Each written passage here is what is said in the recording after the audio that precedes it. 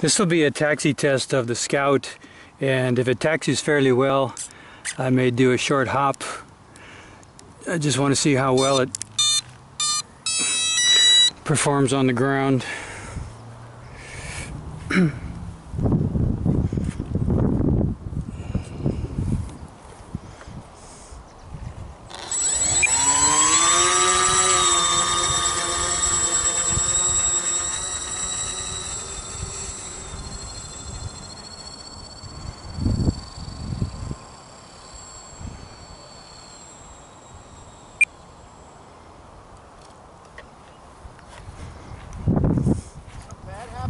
No, no, I just trying to do a taxi test. And I wanted to actually do a little short hop.